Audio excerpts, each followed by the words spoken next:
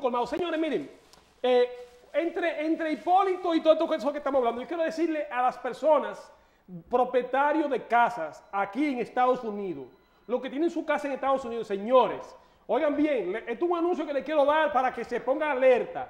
No le entreguen sus casas a los bancos luchen por su casa, que se están produciendo una serie de medidas de parte del gobierno para favorecer las negociaciones con los dueños de casa.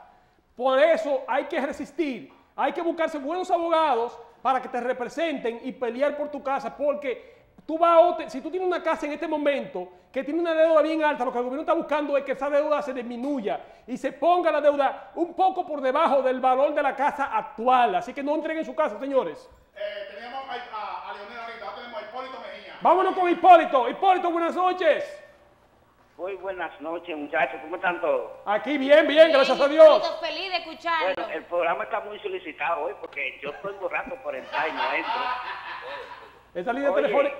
eh, anoche estaban discutiendo ahí a algo que me interesó. Eh, mira, el contrario está bien y lo cae también. Y ustedes dos, Albuce está bien y tú está bien, José. Y Delia, ya tú sabes. Oye, me han dejado solo viendo el programa, amigos muchachos. Se han enterado que cambiando de compañía, porque hay una compañía que no da el servicio de ustedes, y se me han cambiado toditos. Ahora estoy nada más viendo el programa. Porque se me fueron toditos porque ya, ya tienen su televisión en su casa y ya lo ven allá en su casa. Y sobre Leonel Fernández, quería decirle a la gente que mientras la Amnistía Internacional dice que su gobierno ha matado 2.542 personas, él hablaba soñando con un Monte Carlo en ocho meses que va a construir en Samaná. Y mientras su, su esposa puso una cartera de 14 mil dólares de, de- de una tal mujer que, que le gusta la ropa a todo el mundo, esa mujer. Ella puso una cartera de 14 mil dólares para estrellarse en la cara a la gente. Muchas gracias. Gracias, Gracias, hermano, Hipólito. gracias. Gracias, Hipólito. Qué bonito gesto, tú sabes, para ver el colmado. Eh, un saludo a todos los amigos de Pensilvania, que es donde nos llama Hipólito, que se cambiaron de cable únicamente para poder ver el colmado. Sí, este sí, gracias, programa. gracias. Se le agradece mucho. Un besito para todos. Sí, sí, eso tratamos de hacer un, un programa, un espacio eh, eh, entretenido, informativo, y donde la gente pueda expresarse. Nos llama Rafael desde Queen, Suazo. Vámonos Así que vámonos con Rafael en vivo y en directo. Muy buenas noches. Échame un Buenas poquito de noches, Rafael. Estoy mirando que tienen un tema bastante caliente ahí, Sí. Pero nosotros los dominicanos somos demasiado fanáticos y nos olvidamos de buscar los libros de la historia hacia atrás. Cuando Leonel Fernández estuvo en sus primeros cuatro años, ¿cómo le dejó el país a Hipólito Mejía? Entonces, ninguno de los dos sirven. Exacto. El pueblo dominicano lo que tiene que buscar alternativas Sí. y buscar soluciones de hombres capaz y serios. Guillermo Moreno, Whip. No eh, estoy inventando ninguno, estoy inventando la situación dominicana. Ok, No importa el que sea. ok. El problema es que la arca millonaria dominicana le dan dinero a todos los corruptos para seguir chupando la sangre del pueblo dominicano. El pueblo dominicano tiene que ser astuto y dejar de vender todos sus documentos en momentos de votaciones y cobrarles con los votos en contra a todos esos corruptos y perversos. Muchísimas gracias. Correcto, mi hermano, muy bien. Así Ya, mismo. cámbiame el Así tema, que- ya vamos la- a hablar de otra la gente cosa. que está No, no, no, Eh, eres hablando de tú. todo, No, no, no, no, no, no, no, no, Yo de no, nuevo, no, yo no, hablar de no, nuevo, porque yo no puedo, yo Pero no por puedo hablar, oye. Siga con su La cámara. Lotería Nacional está en quiebra. Sí. La- lo- lo- los ganaderos están gritando porque no, no, no le están dando nada. Eso sí a así todo el tiempo. No, no, no, no, espérate. Ahora está un desastre. Un desastre. Váyase pone su cámara. La Policía Nacional, el Ejército Nacional están en la calle y es como si fuera Calbucia. nada. Leonel paseando, se fue una semana para pasear. Dale, Otra vez. aprovecha, No, para mi micrófono ese. Eh, ¿Cómo puede. va? Calbucia no puede tener un micrófono en la mano. ¿Cómo va a ser esta cuestión? ella ha descuidado la cámara. Señores, eh, Vamos a hablar de otra cosa. No, es que la más gente- de él? habla de farándula. Ay, tengo que decirte, mi amor, gracias por ¿Qué- fin. tú contrario. Vamos a ver que tú se a No, acabe, ¿verdad porque que- ya. Tú no sabes que el papá de Lindsay Lohan, tú sabes que Lindsay Lohan, Oye, la pobre, la, la No, pusieron pero ya presa dejó y eso. todo. Era, era pájaro No, antes, él tiene una, él tiene, adivina cuánto, 51 años, tiene una novia de 28 años. Y resulta, papá de ella? Sí. No, pero esa es resulta una que le llamaron la policía porque le entró a golpe a la novia de él en su casa en Florida. Cuando llegó la policía, él le dijo dije, que tenía un dolor en el corazón y lo llevaron al hospital más cercano. Ah, pues él trató de escaparse del hospital y lo agarran y lo llevan preso. Ajá. Ok. Vámonos, vámonos con Edwin, que nos llama de New Jersey. Yo quisiera que lo vea. Edwin, bienvenido, buenas noches.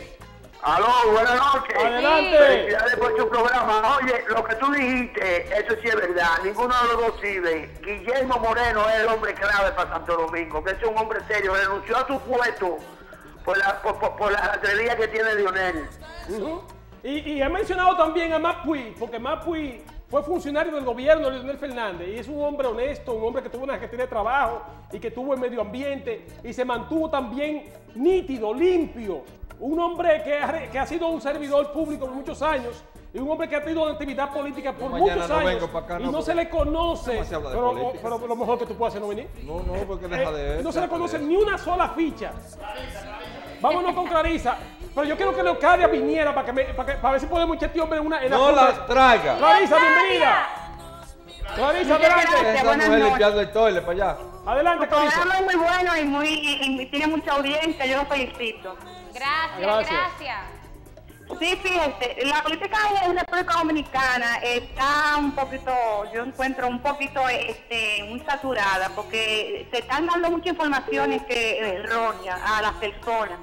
Recuérdense que allá casi la mayoría de las personas no, no leemos, no, no escribimos, no vemos muchas noticias por falta de luz Ajá. y estamos un poquito errados. Pero yo pienso que los dos partidos que están eh, eh, dentro de las posibilidades, ellos PLD y PRD, no pueden estar inventando, tirando paquetes para partidos que no van a ir para ninguna parte, cuando nosotros tenemos que quitar al que está, es que en realidad nos está molestando.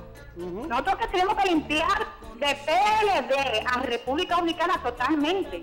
Y después darle su oportunidad a este partido que es que le está haciendo la contraria al PLD, que es el PRD, y si no sirve también quitarlo. Ya. Pero la única opción que tiene el pueblo es PRD, aunque no sirve tampoco.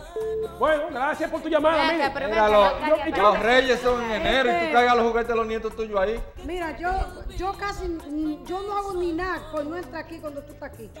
Porque yo ando averiguando si esta vaina no tiene un costo más grande de ahí. ¿Para qué? Para abrirle los sesos a ese señor. A ver, porque si uno le abre los sesos y le entra otra cosa. Es tan bruta que ella no saca es una yo- pistolita yo, de, te voy a preguntar juguete. una cosa. Oye, de- deja de que yo le enchufre y te diga si es una pistolita. Es tan bruta. Yo te voy a preguntar una cosa. ¿Cómo que tú, si tú eres dueño de tu colmado, Acepta carbón. una gente viene de un producto de Páchalo y que se vaya, pero ya nada más le falta Hay que que, traiga la ropa Mira, y que se que bravo, Lo ¿eh? que pasa es que yo estoy vendiendo una limonada Señores, aquí. señores, señores, Mark Anthony estuvo en Costa Rica. Él está buscando talento para su nuevo reality show con su ex esposa Jennifer López, que viva ¿A ¿A quién? ¿A quién? Marc Anthony. ¿A quién? Está buscando ¿A talento. quién de todo lo que está aquí le importa esa vaina? Vámonos. Dime tú. María, bienvenida. Buenas noches, María. Adelante. Muy buenas, muy buenas noches. Eh, le estoy llamando porque realmente eh, estoy de acuerdo con el señor que llamó desde Queens. Eh, la base fundamental de una de un país es la educación y la salud. Y es increíble, es doloroso saber y observar lo que pasa en nuestro país. Eh, la- si no hay educación, por, la razón, o sea, ellos compran los votos y eh, invierten dinero en las personas, compran cédulas en el tiempo de elección, porque no luchan para que haya educación y eso lo logran con las personas que realmente no tienen mucho conocimiento, mucha capacidad.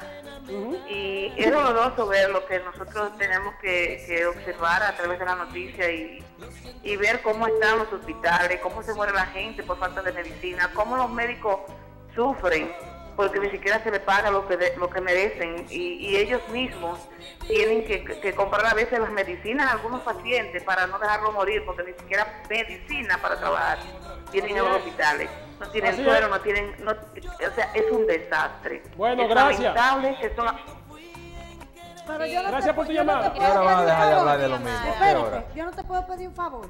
Dime a ver. Haz una encuesta a ver si la gente por el partido mío va y tú verás que no va a esa El partido reformista. Claro. Balaguer. A una. Pero, tú va- ves. pero ¿qué- ¿quién es el candidato tiene Reformista? ¿Quién es el candidato Pacuses. Reformista? ¿Quién es el candidato Partido Reformista? Adiós, Balaguer. Balaguer. Balaguer. Balaguer. ¿Y cuándo que tú vas a despertar? Balaguer está muerto y Y enterrado. este, para ustedes, los que no les gusta el partido. Dios mío, para mira, ustedes está cambiando de muerto. tema. ¿Tú te acuerdas que ayer yo te dije de Jorge Salinas? que Vámonos estaba con una última llamada que tenemos aquí a David que Pero nos yo llama estoy de hablando Joker. de, Ella de estaba este hablando. hombre. ¿De qué tú estás hablando? Que Jorge Salinas estaba en terapia inter- intensiva. Espérate que, espérate que Dele habla de Jorge, Jorge Salinas. Vamos a ver, vamos a ver. Adelante. Sí. Estaba en terapia, en terapia intensiva, perdón, porque tenía coágulo en los pulmones. ajá. Y por fin hoy su nueva esposa, porque se casó recientemente, Elizabeth Álvarez, eh, dio una declaración en pública y dijo que se está recuperando muy bien, que comió pollo, gelatina. Ok, y que su Pero ok, nos felicitamos, gracias. Gracias a Dios. Vámonos, vamos con una llamada, vámonos con una llamada. Ad- Adelante, mi hermano. Ver, oh, yo estoy llamando para diferir de una de las personas que llamó. Lo que le pasa al pueblo dominicano que es un pueblo masoquista. Hace 18 años que yo no visito la República Dominicana por el círculo vicioso que tienen los dos partidos. Ya uno se sube, hace un desastre, pone el dólar a, a cuchumil, y ya lo que se apea, pone la canasta familiar, que no se sabe a dónde, a dónde, a está. Y en verdad lo que estamos, estamos como un país un país que no sale del círculo vicioso. Ya que el PRD, ya Bueno, que señores. el PRD. Vamos a tener que votar. Gracias por esa llamada. Miren, señores, que ir. yo quisiera decir Cuando yo algo. venga mañana no hable de la misma cosa, que Bueno. yo estoy harto y cansado de lo Yo mismo. me eh. voy, quisiera- quédense ustedes. No, no, yo vais, me voy, vais, yo me vais, voy, yo me voy. Y usted váyase también. Miren, yo quiero decir esto, señores. Los dominicanos tenemos que tomar conciencia. Dejémonos Eso de- no se toma, de- es el agua que se de- toma. Dejemos nuestro, nuestro eh, eh, eh, apasionamiento con los partidos políticos que ya nos han engañado, nos han robado y que son un disparate lo que hacen. Se le va a salir galillo Señores. diciendo lo mismo ese hombre. Todos los días lo mismo. Bueno, porque es que la gente tiene que tomar Pero ya conciencia. cállate con eso, que tú me tienes Bueno, harto. con nos vamos, señores. Que Dios les bendiga. Nos vemos mañana. Voten por Todos los Josué días Suazo, el política, próximo política, presidente de la política, República. política. Harto de lo mismo. Harto. Harto y harto de lo mismo. A las 7. Vengo a gastar mi dinero aquí y este hombre lo mismo, lo mismo, lo mismo y lo mismo. Es harto que estoy. Me voy.